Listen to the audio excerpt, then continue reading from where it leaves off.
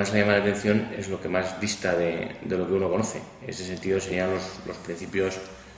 revolucionarios o socialistas que se han ido impregnando el, el, espíritu, el espíritu normativo y el elenco normativo cubano. Un ejemplo es la retroactividad del, del, matrimonio en Cuba. Uno se puede casar en el 2010, pero eh, se le puede dar un efecto retroactivo si demuestra eh, eh, el matrimonio, más partes del matrimonio, demuestran que se conocían 20 pues, años antes, 25 años antes o el tiempo anterior necesario para que se produzca esa retroactividad, aún habiéndose casado, formalizado, legalizado su situación, 20 eh, años después, por ejemplo. Eh, esto servía en Cuba para hacer transacciones como podía ser la compraventa de los coches o la compraventa de las viviendas. Ahora, gracias al Partido Comunista Cubano, al sexto, partido, al sexto Congreso, eh, se va a abrir la posibilidad de que los cubanos puedan comprar y vender coches, vehículos y casas. Hasta ahora eh, el Estado tenía eh, la opción de compra preferencial sobre, sobre vehículos y sobre casas. Bueno, el sector de la abogacía en Cuba no está liberalizado como aquí. Los bufetes son bufetes públicos, los abogados son funcionarios públicos, con todo lo bueno y todo lo malo que, eso conlleva. ¿eh? Entonces, eh, bueno, a la hora de dar eh, un servicio jurídico es lo que nosotros podemos considerar estándar para un europeo, para, para, un inversor español, por ejemplo, pues no, pues a lo mejor no, no, no, no saben cuáles son las prácticas de mercado o eh, qué es lo que busca esa empresa española, eh, porque tiene que presentar el informe en el Consejo o porque lo tienen que presentar a su vez a los bancos financiadores para hacer el proyecto y aprobarlo y otra serie de cosas. Ellos son unos juristas muy buenos, son jurisconsultos, son eh, académicos brillantes. me he encontrado con unos profesionales estupendos y eruditos del, derecho, da gusto escucharlos, da gusto trabajar con ellos, pero eh, todavía les falta, y lo conseguirán en el futuro, todavía les falta adaptarse a lo que es eh, ese servicio profesional que, se, eh, que demandan las, cada vez más las, las empresas y las corporaciones eh, norteamericanas, eh, europeas, etc. La reciente reforma eh, profesional o de profesiones que ha habido, donde se prevé más de 176 tipos de trabajo distintos, tan variopintos como puede ser el servicio por cuenta ajena de limpieza de cristales, por ejemplo, por cuenta propia, limpieza de cristales o de recoger palmas de las palmeras que, caigan en las calles después de, de una ventolera, ¿no? O sea, eh, no se incluyen los servicios jurídicos, es decir, los abogados cubanos no pueden prestar por cuenta propia ni, ni de forma liberalizada, como podemos aquí en España, sus servicios jurídicos. Eso el Estado quiere seguir teniendo un, control, cuál es bueno,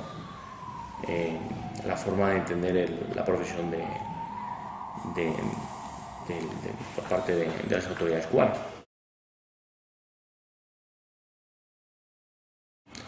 firmas extranjeras eh, como tal eh,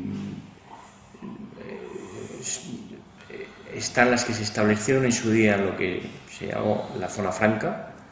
Eh, hay algún despacho pequeño que, tiene, una, que tiene, una, tiene una base presencial allí,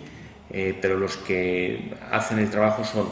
o bien bufetes extranjeros que tienen una larga tradición de prestar sus servicios en Cuba, y que tiene en sus filas como abogados, eh, tiene abogados cubanos que pueden ejercer el derecho y dar servicios, eh, o bien los despachos cubanos, que son los que pueden ejercer en la, en la isla.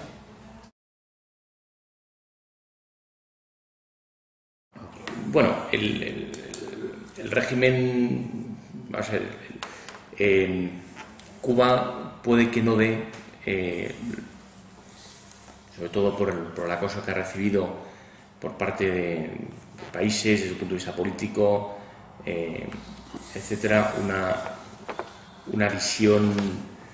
eh, de país que da seguridad jurídica a las inversiones extranjeras. Esto no es cierto, por todos los motivos que he dicho antes. ¿no? La ley de inversión es parte del convenio de Nueva York, reconoce sentencias extranjeras, eh, tiene APRI firmado con España, donde se reconoce donde se protegen las inversiones españolas completamente, tiene ese doble tratado, ese tratado de doble imposición. es decir, Cuba es un país que tiene los mecanismos para garantizar la seguridad jurídica. Cuestión distinta es que eh, las empresas que invierten en Cuba eh, quieran eh, tener un procedimiento rápido o quieran tener un procedimiento que no sea público y que pues bueno, pues se resuelva teniendo en cuenta pues teniendo en cuenta la complejidad del proyecto en cuestión y la complejidad de la relación entre ambas partes que se quieren someter al arbitraje. Un juez cubano obviamente, y hablamos que los despachos cubanos no sabían, todavía les queda tiempo y trabajo para adaptarse a, esa profesionalización de los servicios jurídicos a estándares europeos, los jueces cubanos, que son magníficos jueces y magistrados, de una gran talla intelectual, por las sentencias que hemos analizado, eh, no tengan ese, todavía no tengan ese, esa forma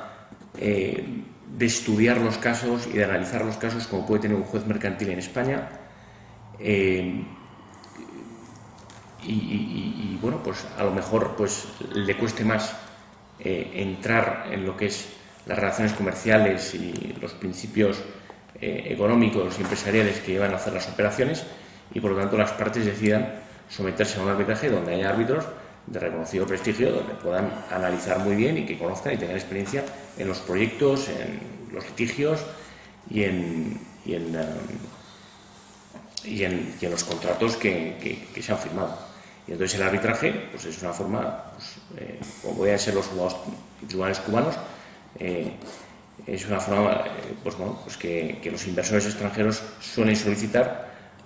para mm, garantizar la rapidez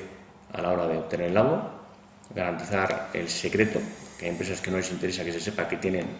relaciones en Cuba o no quieren que se sepa que tienen un problema con, el, con, el, con su socio cubano y por lo tanto quieren, quieren resolverlo pues, de una forma más confidencial. Y por otro lado, eh, el Estado cubano eh, tiene un historial muy positivo a la hora de cumplimiento de los laudos desfavorables y de, y de